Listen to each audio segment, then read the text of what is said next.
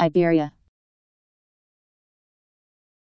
The region of Europe south of the Pyrenees, consisting of Andorra, Spain, Portugal, and Gibraltar. I B E R I A Iberia